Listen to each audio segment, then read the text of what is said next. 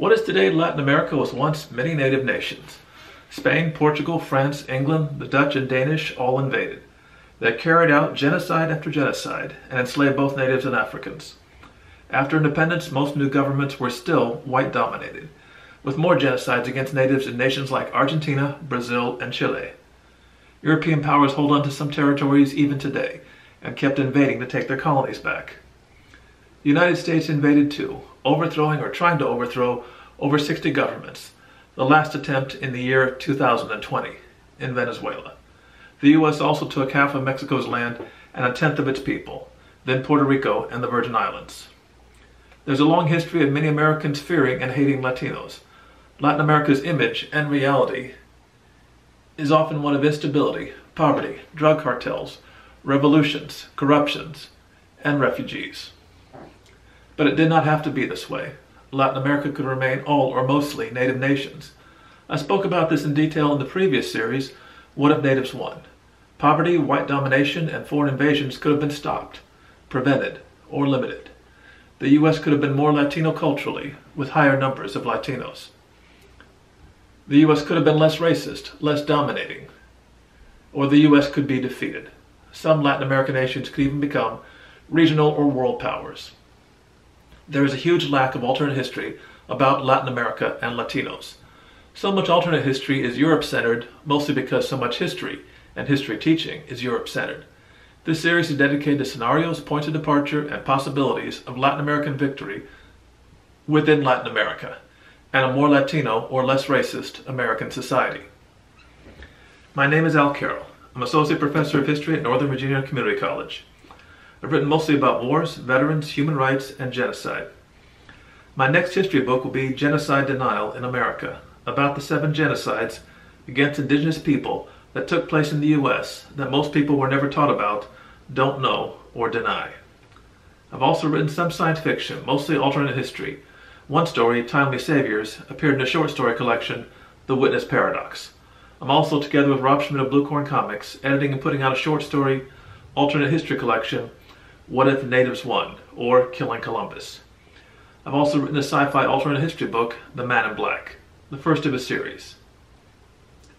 Just like most history books about the Civil War and Reconstruction that were written before the Civil Rights era, the first alternate history novels imagining a Confederate victory were deeply racist, filled with notions about the inferiority and barbarism, laziness, timidity of anyone not white. Most Confederate admirers still carry some of these same unchallenged, conscious or unconscious beliefs. They assume white Americans and white Southerners are superior fighters, based on lost cause myths about white supremacy, posing as Southern chivalry, chivalry, or underdog status. This is the most absurd alternate history map by a Confederate admirer that I've found. It is pure fantasy, assuming that Confederates could do what Spain never did with disease, starvation, and even multiple genocides. It assumes Confederates could do what the U.S. has not been able to do, even with the most powerful military in world history, with CIA subversion, local allies, even nuclear weapons. Even during the height of the Cold War, the U.S. never conquered or ruled directly in Latin America for longer than months. To imagine any conquest by Americans or Confederates, they must believe all, America, all of Latin America and all Latin Americans are too inferior, too corrupt, and too cowardly or too incompetent to fight back or win. There were plenty of angry, delusional Confederates even before the Civil War, with plans to take as much of Latin America as possible for slave states. The Knights of the Golden Circle was a secret society, in many ways an earlier version of the KKK. Its focus was not yet on terrorism against blacks, it was on expanding slavery. When Confederates began the Civil War, their focus switched to terrorism against the U.S. Much of this will depend on how the Confederacy breaks away. If successful succession comes from winning the Civil War, then the Confederacy will be exhausted. It will be broke, its economy in ruins. Confederate money is worthless, with inflation of an incredible 9,000%. Confederates have lost markets almost everywhere. The British started getting their cotton from within, within its own empire, India. Ironically, the Confederacy depends almost entirely on illegally smuggling cotton to the U.S. And almost a quarter of its young white males are dead. Perhaps 200,000 or more lost limbs to amputations. The rest refused to fight because they opposed secession, slavery, or both. Half of all Southern white males dodged the Confederate draft. Two thirds of the Confederate Army deserted. What this means is that they simply have hardly any soldiers left, at least not willing ones. There won't be any Confederate invasions of Latin America for 25 to 30 years, just as there were not any by the U.S. either, because the public was exhausted by war. By then, there's a good chance slavery had ended, ended before the 1890s. The cotton market crashed in 1873. Cotton prices dropped through the floor. The Depression was so great, it was called the Great Depression in America until the worst one, an even worser one, hit in 1929. By the 1880s, slavery was ending worldwide, even in Brazil, everywhere but in a few parts of Africa and the Middle East.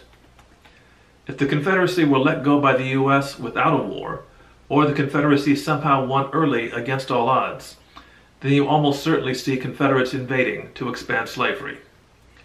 But, but the Confederacy almost certainly loses anywhere it tries. If the Confederacy tries to see, seize northern Mexico, for example, it will come up against both Juarez's nationalists, and they defeated Napoleon III and the French would-be conquerors. Likely, Mexican troops beat the French. In our own history, Mex Mexican troops beat the French, and they were the best troops Europe had and they did so even though Mexican conservatives betrayed the nation and sided with the French. Only if Confederates ally with the French is a partial conquest possible, and then only of less populated northern Mexico. It would take many white southern colonists taking over and perhaps even ethnically cleansing the Mexican population. And then the Confederacy would still see many slave revolts because most Mexicans side with black slaves. Mexico had abolished slavery 40 years before. One of its first presidents, Vicente Guerrero, was a mixed race black man. Texas even had to outlaw contact between Mexicans and blacks because so many Mexicans helped slaves escape. The French will be defeated, and then the Confederacy will be driven out too. The next likeliest place that Confederates would try to invade would be Cuba or Puerto Rico. At, at that time, both of them were under Spain's empire. Defeating Spain is very possible. It had been a weak empire for over a century, corrupt and poorly run, with an increasingly radicalized working class. Cuba fought the Ten Years' War for uh, independence. While that didn't succeed, the war ended slavery in Cuba. Puerto Rico gained some autonomy from Spain. There's no reason the Confederate invasion wouldn't face long, brutal guerrilla wars. If the Confederacy still wins, they also have to face local Spanish slave owners who hold the best land. Those slave owners, Spaniards, have to either be cleansed or become collaborators. The final two places Confederates might invade are the Dominican Republic and Haiti. Dominicans had just defeated a Spanish attempt to reconquer them at the same time as the U.S. Civil War. Spain was badly beaten, losing over 10,000 troops, many of them dying from yellow fever. There's no reason any Confederate invasion wouldn't also be a disaster. Haiti is famous for the most successful slave revolt in world history, even defeating Napoleon's horrific attempt at outright genocide. Confederate victory would not be easy. This is very different from later American invasions done to support puppet governments or collect debts. The Confederates likely would lose huge armies of 75,000, just like the French did, just as the British lost 45,000 troops when they invaded. The Confederates could try invading Central America or even South America, but the Confederacy had a joke of a navy. One more reason an invasion of, of Cuba, Puerto Rico, Dominican Republic, or Haiti would fail. The Confederate Navy had barely a hundred ships, and they couldn't defeat and didn't even try to fight the American Navy. The Confederate Navy was just a collection of raiders attacking only civilian ships, incapable of a naval invasion or blockade. Their record in combat was terrible, two thirds of its ships destroyed or captured. Most don't know about this because Confederate sympathizers bizarrely depict this piracy and terrorism as heroic. A disastrous Confederate war, humiliated by non whites, is the worst thing for Confederate society based on white supremacy. It would radicalize not only the nations it invaded, but the Confederacy itself. It would lead to many more slave revolts in the Confederacy. And large numbers of, of slaves in that Confederacy have already fled. Or there would be harsher slavery and repression from fear of revolts, leading to more international isolation. The Confederacy would become much like South Africa under apartheid. A humiliating defeat by a small non white nation will also lead to many more mass desertions and radicalizing of Confederate soldiers or veterans, as happened many times before in many other nations.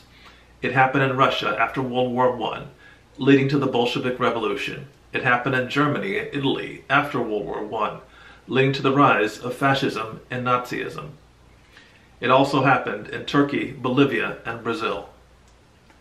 This would also be at the same time as the rise of labor unions, socialism, and anarchism. There are bound to be radical uprisings among poor whites, and perhaps no more Confederacy itself. One of the most common alternate history stories is that the Confederate States of America become communist or otherwise radical leftist. Losing Latin American wars is one of the likeliest ways it could have happened. This is the end of the video. Please repost freely, like, and subscribe. This has been a Latin American Victory. Next time we will discuss what if Cuba is independent sooner.